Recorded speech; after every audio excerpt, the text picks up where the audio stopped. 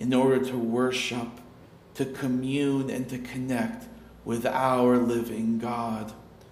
We learned today, Lord, of the parable of the sower during our Sabbath school. And we pray, Lord, that our hearts will be made ready to receive your truth. We pray, Lord, that during this church service we will have protection from the evil one, that he will not be able to come and snatch the truths that you dispense to us today. We pray, Lord, that as the truths of this worship service fall upon our hearts, that they would take deep root in us and that we in turn will take deep root in you. Mm-hmm. That no matter what may come, no matter what trials we may face, mm. no matter what tribulations may present themselves, mm. we will never be uprooted from you. Mm. We pray, Heavenly Father, that your love and that your grace will be manifested today. That we will see how great you are that you will abide in us and we will abide in you, mm-hmm. and that our love for you will grow more and more to match your infinite love for us. This we pray in your Son's beloved name. Amen. Amen. I ask the congregation to please remain standing as the elder Andre leads us out in hymn 86, How Great Thou Art. That is a change from the bulletin, but we will be singing hymn 86 how great thou art.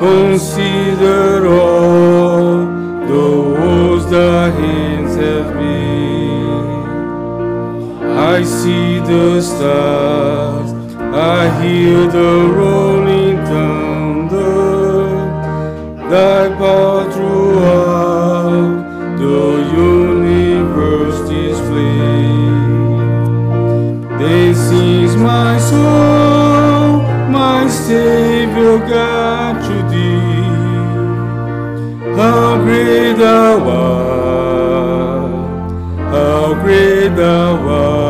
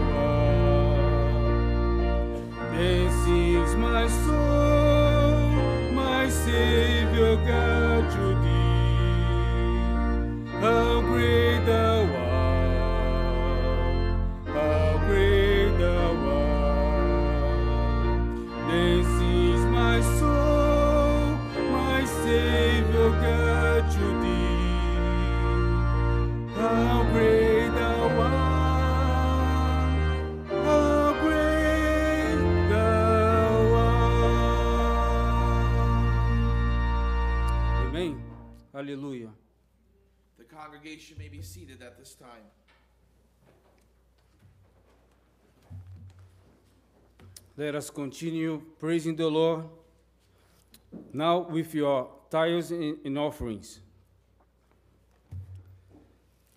You know the Lord, He will never forsake you.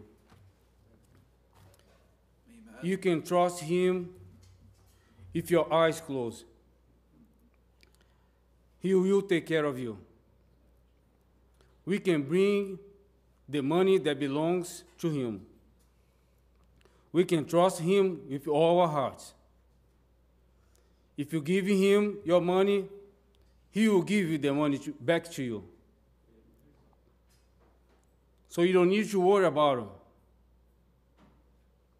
If you give the money to him, to his cause, he will take care of you. There's nothing to worry, brothers and sisters. We just have to bring our money and put it for his cause. The running, the time is running out. We just need to trust God now. He's gonna give you the money.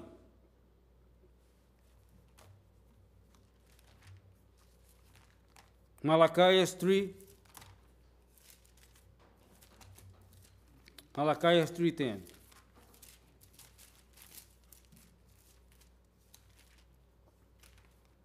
You know, we have to make sure that the people are receiving the seed.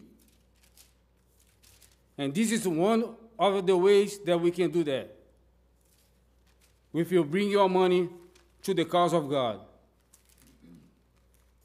Let's, let's ju- just read one more time.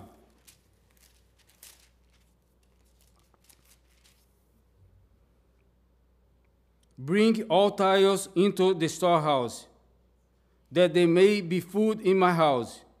And try me now in this. Try me now in this, says the Lord of hosts. If I will not open for you the windows of heaven and pour out for you such a blessing that there there will not be room enough to receive it. Praise the Lord. Brother Andres is going to pass by you. The Lord will take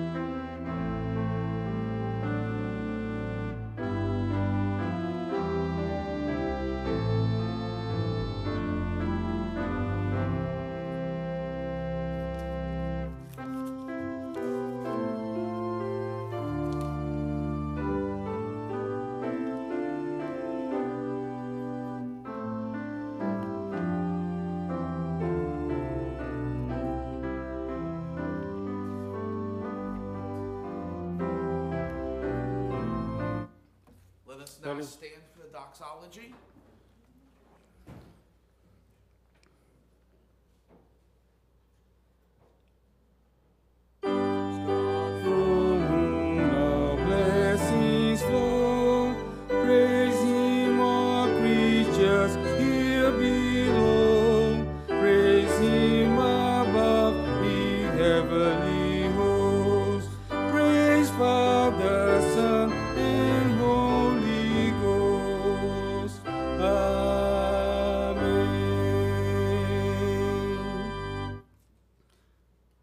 Our loving Heavenly Father, we thank you so much for your love. What a wonderful love, Father, you have for us. We thank you so much, Father, for everything that you do for us, for sending your Son, Jesus Christ, to die on the cross. And every day, every day, every minute, you bless us. Bless us with life. Thank you, Jesus Christ. We are coming here now, Father, to, to put the, on this basket the offerings, the money. Yes, Father, the money that needs to go to buy Bibles, to go to help somebody. Yes, Father. That the money we pray that goes and reach somebody today. We pray, Father, we pray. Praise be to God.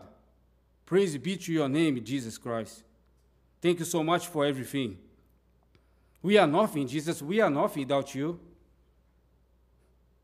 We can do nothing without you, Jesus. And we praise your name today. Because we have opportunity to participate in this program to saving souls. Saving souls for your kingdom. Thank you, Jesus.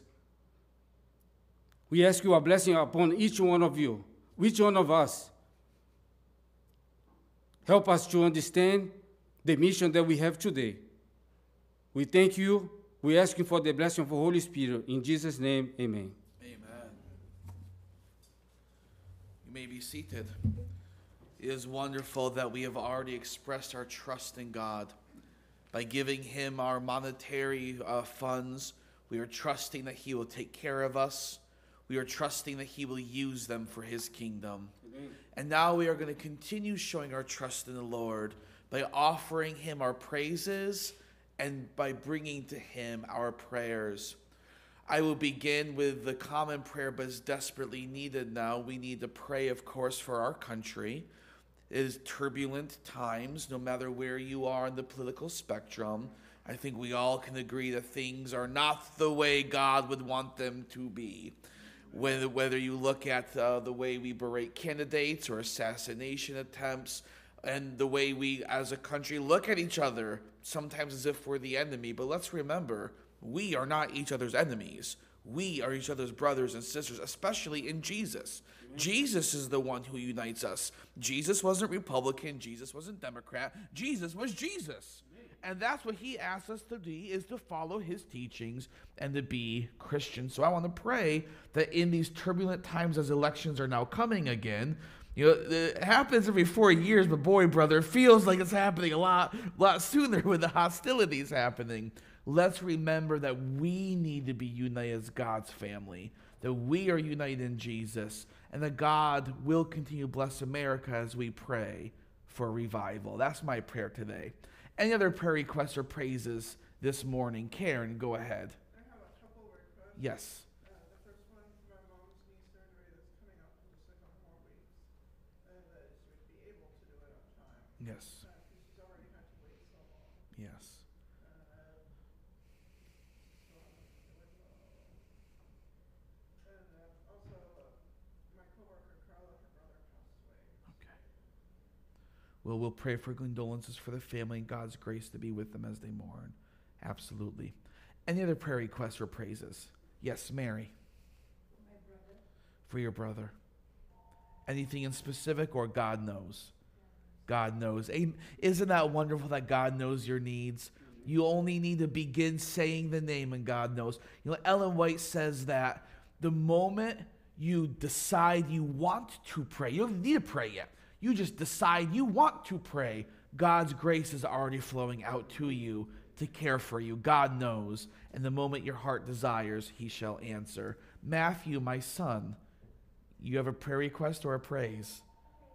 Okay. Is it that I'm an awesome father? Okay. He has a praise. There's a church member who invited them over to use the pool weeks ago.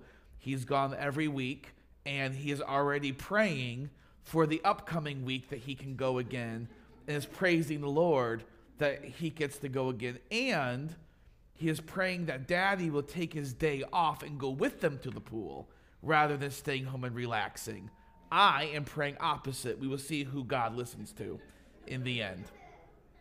Any other prayer requests or praises? Yes, Mimi. For my cousin Lillian, she has cancer. Okay. Has been for a year, more than a year in a treatment. Okay. good. Okay. I'm sorry to hear that it's getting worse, but we will continue to pray for healing and also pray for strength and courage during this very terrifying time. Any other prayer requests or praises? Yes, go ahead, Andre. Prayer request is for uh, uh, August 24 Mm-hmm. that uh, God opens the door for us to go to distribute 300 books, The Great Controversy. Excellent. Uh, and we pray that God is going to use us That's right. for His honor and glory. And that the books find the right people Yes. whose hearts are ready to hear Amen. and they desire to read what's being Amen. handed to them. Amen. Absolutely. Last call. Any other prayer requests or praises? Okay. Not seeing any, I invite the congregation to please kneel and let us begin our time of prayer by singing hymn number 671 as we come to you in prayer. Let us kneel together.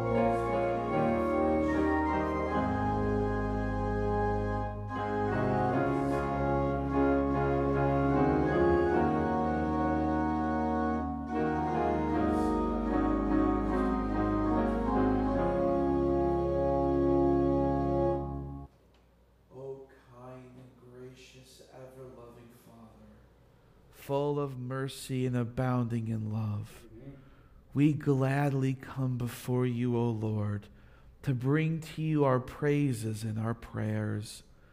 Lord, if we could just see all that you do for us each and every day, there would not be enough time in our day to give you the thanks that you deserve. And so, Father, even in our weakness, we lift you up. We declare that you are good. We praise you for satisfying our hearts with good things. And we declare to all that you are worthy of worship, that you indeed, your name should be high and lifted up. Father, as we remind ourselves of your grace, we bring to you our sins today, for they are many. We ask, Lord, that you would forgive them on this great day of communion. Many of us here today, Lord, maybe we feel far from you. Maybe we do not feel right with you. Maybe you have been convicting us of certain things, and, and maybe we have not yet made those right to be right with you. I ask, Lord, that you speak to us now your love, that you remind us of your forgiveness, that if we repent and confess our sins, you are faithful and you are just to forgive those sins and to cleanse us of all unrighteousness. Lord, if we do not feel in harmony with you right now, we need not remain in that state a moment longer. Right here, right now, as we hear your voice, we can say, Yes, Lord. Yes, Lord. And the moment we do so, instantly, we pass from death to life, and we are covered by the perfect life of your Son, Jesus Christ. May we walk in that assurance now. Lord, we are your children, and you desire to give good gifts to your children. And so we ask for those good gifts now for our brothers, as Mary said, for our children, our spouses, our parents, for healing, Lord, healing from cancer, healing with upcoming surgeries. Lord, the needs that we could go are, well, again, as if we could praise you all day, our needs could take up all day too. But Lord, you know what we need before we even ask.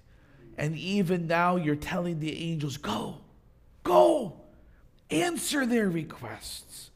And so, Father, we thank you that even now, before we finish praying, you are moving heaven and earth to care for our needs. And Lord, I give a special prayer today. My son Matthew mentioned the pool. I want to ask, Lord, that you would fill our hearts with happiness over the simple things. This world has so much that can take away our joy, so much that can make us look down the earth. But no, I say, remind us of the joy of a bird chirping, of a butterfly landing, of the smile on the face of those we love. Lift our eyes from this earth, Father, point them to heaven that we would see heaven in all of its glory, and that you would redefine this world, that in this world we would also find joy. Father, on behalf of the congregation, I just say we love you. And we are so grateful that you are in our lives. And we are so thankful that you sent your Son to live for us and die for us, that we might live with you forever in heaven. May that truth never grow old, and may it always touch a chord in our hearts. This we pray in the name of Jesus, the Son, and the Christ. Amen. Our prayer, O Lord, hear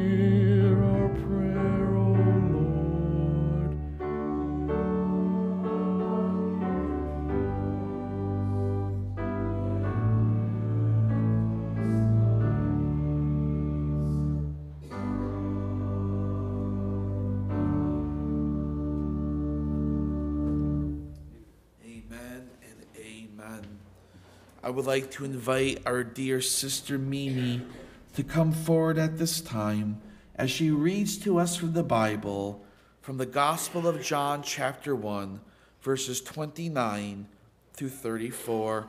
And I ask that you would allow the words that she speaks and reads today to be life for you. These are the very words of God for you. Let us hear them for what they are. Mimi, please come.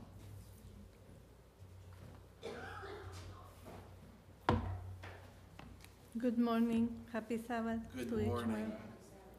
Let's praise, praise the Lord because today we had the freedom to be here. Amen. Uh, let's read the Word of God. John 1, verses 21 to 34.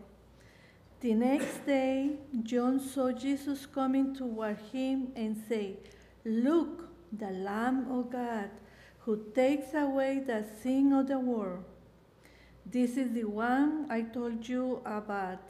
After me comes a man who ranks ahead of me because he existed before me. I did not know him, but I come baptizing with water so that he may, be revealed to Israel. And John testified, I saw the Spirit descended, descending from heaven like a dove, and he rested on him. I didn't know him, but he who sent me to baptize with water told me, The one you see the Spirit descending and resting on, he is the one who baptizes with the Holy Spirit. I have seen and testify that this is the Son of God. Amen. Amen. Amen. Thank you, Sister Mimi. We'll give Mimi a moment to go sit down so that she can join us as we go to the Lord in prayer. I'm going to push this down so it doesn't reverberate, plus, so you can see my face. I don't know if that's a blessing or a curse. I'll let you decide. Let's bow our heads now for a word of prayer. Heavenly Father, I have come to bring to your people a message of love, a message of your forgiveness, and a message of your grace. Lord, this is such an infinitely great message. I don't know how we can contain it in a small eight minute sermonette. But Lord, what I ask is you take these words on this paper, that you infuse them with life. And that as they proceed from your servant's mouth, may they touch the heart of every person here.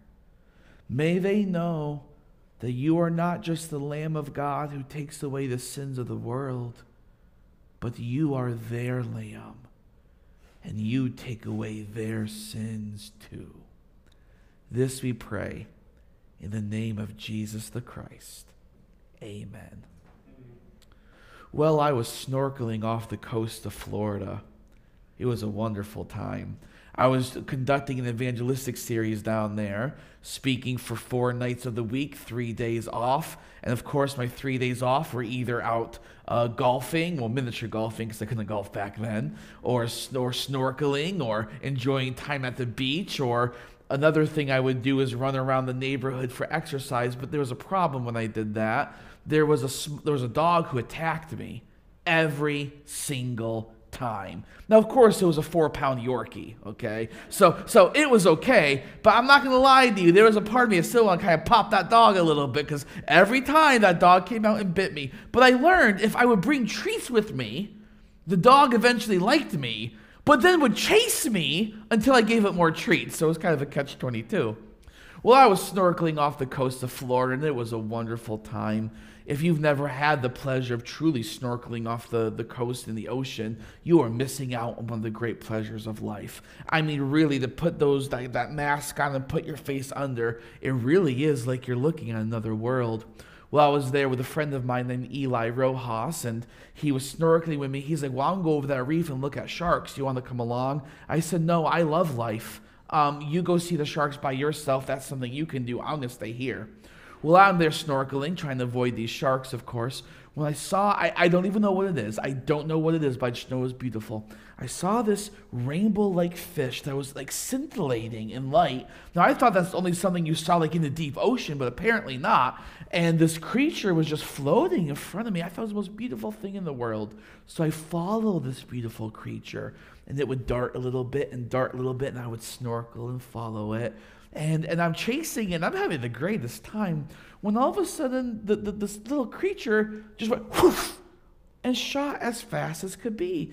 I'm like, well, that's weird. Because I was keeping up with this, whatever it was. I'm going to call it a fish, but it wasn't a fish. It was more, more like a squid. It had like this, these tentacles that came out and a little shell, and it kind of just hovered. It was an odd creature. And I was like, well, that thing went fast when all of a sudden I started. I started going fast too. Because I woof, woof, and I realized the creature wasn't swimming fast, it just got caught in the current. Well, then I realized, uh oh, I'm caught in the current too. But I, I, wasn't afraid because I'm a strong swimmer. I figure, well, I can swim in the 12 foot deep pool, I can do laps, I got this. Well, it became apparent very quickly I did not, in fact, have this. Because as I tried swimming back against the current to get back toward, you know, civilization, I'm slowly getting further and further away. And the fear begins to hit me. I am going to die. I'm going to be sent out into the ocean. A shark is going to find me. It is going to eat me. And, that's just how my life is going to end. This is what's going to happen. And I was like, okay, now calm down. You know, you can get through this. But I tried harder and harder. And no matter how hard I swam, I was never getting closer to shore. When all of a sudden, I saw another human being. And this human being was dumb enough to put themselves in the current too. And in the current, this human being came to me, and I realized very quickly it was the host, the man I was staying with at this evangelistic series. He had seen that I was in trouble, and he knew that he was strong enough to swim against the current. So he put himself in the same situation to come and rescue me.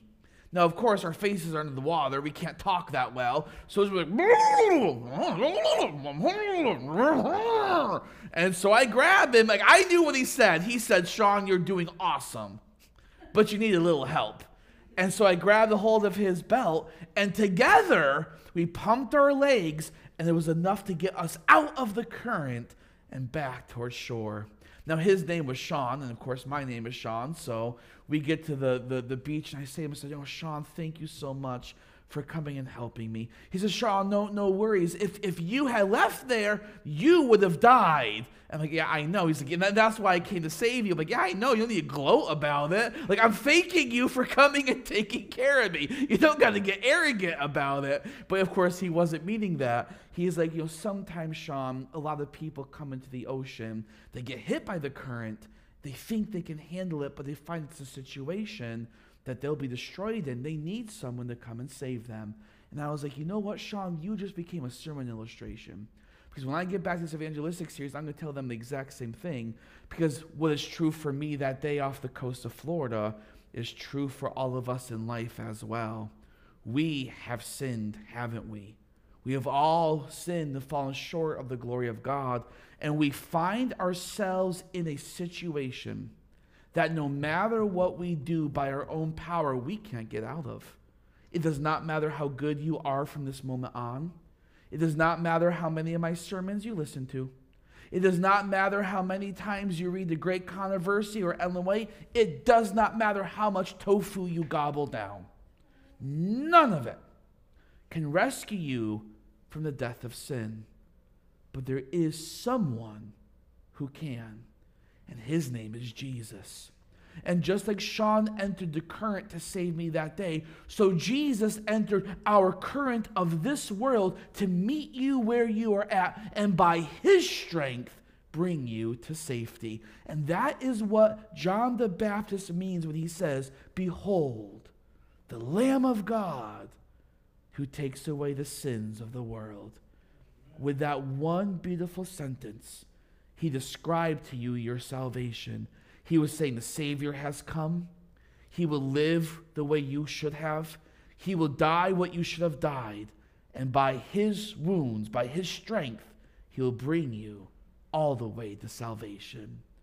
When John the Baptist said, Behold, the Lamb of God who takes away the sins of the world, every Jew there that day would have thought of two things the sacrificial lamb at the temple and the Passover lamb at the dinner of the Passover.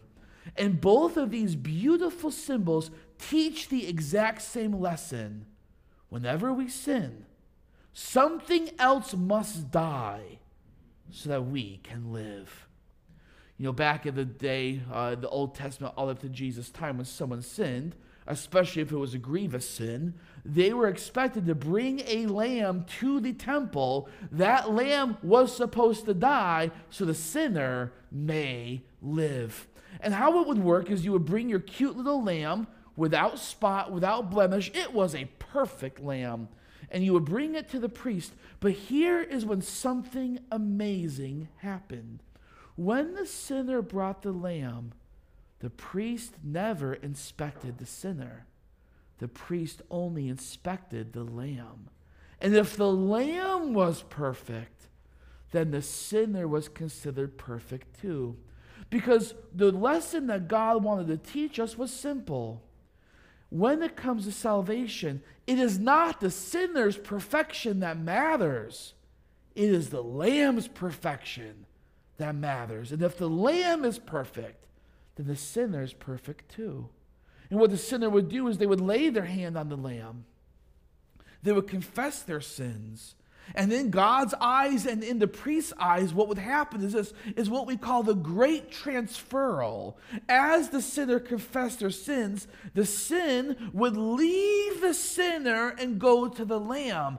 And the perfection of the lamb would now come upon the sinner. And the lamb would then be marched to the altar to be sacrificed and die the death the sinner deserved so the sinner could live forever. And so it is with you and I. When God goes to look at judgment, He does not look at your perfection. Because, in case you don't know, I'm going to break your little world. You ain't perfect. And that's perfectly okay. God does not look at the perfection of the sinner, God looks at the perfection of the Lamb. The perfection of the Lamb is all that matters. Of course, this is also true of the Passover lamb that undoubtedly came to the mind of the people who heard John say this that day. For those of you who may need a little refresher, the Passover actually came about during the 10th plague against Egypt, right? Just a little history reminder there was a time when God's people were slaves in the land of Egypt. Now, of course, God had worked for their deliverance. He did so in a mighty way through 10 great plagues who brought this nation to its knees. But unfortunately, they had a stubborn ruler named Pharaoh. And he would, he would always back and forth. He'd say, Yes, I'll let your people go. But then the moment the trouble went away, he'd dig his heels in again and again. And again and again, God would have to come and release another plague to get Pharaoh to change his mind. But the worst plague of all was the 10th plague. And this was the plague of the firstborn. This is how God describes that plague in Exodus chapter 12.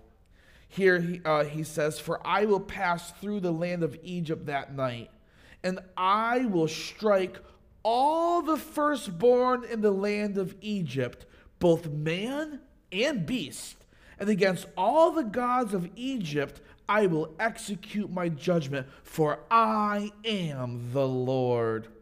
And how? How then could Israel escape such a terrible fate, knowing that God Himself was going to move through this nation and smite every single firstborn? Just, just out of curiosity, any firstborns here? Any oldest in their families? Raise your hands. Okay, all right. Like none of you are gonna make it, right? That's how dangerous is now. I don't know about you, but if I found this, see, I'm a secondborn, so I'm safe. But if I was the firstborn and I heard, hey, an angel of death is going to come kill you tonight, what would my first question be? Uh, how can I not be killed? you know, that's that's all I want to know in that moment. And God tells them how. He says to them that if they take some of the lamb's blood and put it on the two doorposts on the lintel of the house, he says, I will see the blood and I will pass over you and the plague shall not destroy you when I strike the land of Egypt. I want you to notice how beautiful this passage is. When God comes to the door, what does he look for? He doesn't ask who's inside. He doesn't ask how many are inside. God doesn't even look inside. The only thing he does is look for the blood on the door. And if the blood of the Lamb is there, it is the only thing that matters. And so it is for you and I as well. So often in this wonderful faith of Adventism, sometimes we make this, the mistake of stepping into legalism, of thinking we need to be perfect to be saved. And, and let's just be honest. I mean, be honest with yourselves. Don't you feel closer to God when you're living holy than when you're making mistakes? And when you're making mistakes, don't you kind of pull away from prayer? Don't you pull away from Bible study? Why? Because we feel guilt, don't we? And in that guilt, we, we can't go before God because if we go before God that guilt, God won't love us. That's not true. That's not how God thinks. For God so loved the world that he gave his only begotten Son. That whosoever believes shall not perish but have everlasting life. He loved you before you even thought of him. And here at the Passover, we see the beautiful lesson again when it comes to your salvation. It's not the perfection of the sinner that matters, it's the perfection of the Lamb. And if the Lamb was perfect, then God calls you perfect too. And that's what we come to celebrate today. When we come here to celebrate communion, the fact that you and I are made and declared perfect by the blood of the Lamb. Take a moment and think through some questions I'm going to ask you. Do you feel right with God today? Do you feel in harmony with Him? Have you sinned and you feel like you're now disjointed? Have you maybe uh, forsook your devotion life for a while? Homework, work, the kids, the parents, the boyfriend, the girlfriend, the spouse, the church have all put things upon you, but as those duties came upon you, you found yourself spending less and less time with God. Listen to me. There are days even I feel separated from God. And here's a secret there are even some Sabbaths when I'm going to preach that I feel distant from God. But here's the beautiful thing you don't have to be that distant from God a moment longer. The moment you are ready, the moment you turn to Him, as I said earlier, Ellen White says, the moment your heart says, God, God says, I'm here. And He pours all of His grace back into your life. Sometimes we don't want to come to communion because we just don't feel perfect enough. But here's the truth this is the perfect time for you to get right with God, to confess those things to Him, and to accept Him as your Lord and Savior. All you have to do today is take that blood, put it over the door of your heart, and when God looks at you, He won't even look inside. He'll look at the blood of the Lamb, and the blood of the Lamb is all that will matter. He's inviting you. I see it on your faces. I see the nods. The Spirit's moving on you. He's, he's calling you. Be right with me. Come back and love me for I already love you. Think of the prodigal son. This isn't even a sermon. This is just me talking now because I love God. I gotta, gotta talk about God. Think of the prodigal son. Did the son have to come all the way back to the house before the father went to meet him? Mm-mm, mm-mm. The father was scanning, scanning all the time. And the moment he saw that, that silhouette, the silhouette he knew was his boy, he left everything to meet his son. And if you turn to God right now and you just cry out, Father, He's going to run to you. He's going to come to you. He's already on His way. It's up to you if you want to take the hug He's bringing to you. And so at this day of communion, I counsel you take this time to get right with God, accept Him into your heart, allow His life to cover you. For not only will He call you perfect, but you will enter into the perfect love of God that casts out all fear. And you will know the peace that transcends understanding. And you will come to know Him not just as God, not just as Father, but as your dearest and most beloved friend. For Jesus says, if, you, if He abides in you, then you will abide in Him. So let us allow God to abide in us today that we would know him as our personal friend and Savior, which he always desired to be. Let us pray. Heavenly Father, as we prepare to part from here, we ask that your blessings will be upon us, that your grace will fill us. And we ask, Lord, that we today would enter into relationship with you. You are loving and you are good. And you are already not just willing, you are eager to accept us if we but, come to you today. Help us to accept you, Father, that we would know the peace of being right with you. This we pray in your Son's name. Amen. Uh, Elder Gage, would you be so kind as to give people direction as to what room they are going to be in in order to partake of foot washing? The ladies will go up to the top of the stairs, turn left into the uh, fellowship hall. The men will turn right and go to the first door on the left after the restrooms. And uh, the couples will go to the first, second door on the Okay. right. Excellent. And then after the foot washing, we'll come back here for partaking of the emblems. At this time, you are dismissed. As always, may the Lord bless you and keep you, his face smile upon you, and be gracious to you, that you would walk in his shalom all of your days. Please go and do foot washing. I'll see you soon back here as we partake of the emblems. You are dismissed. God bless you.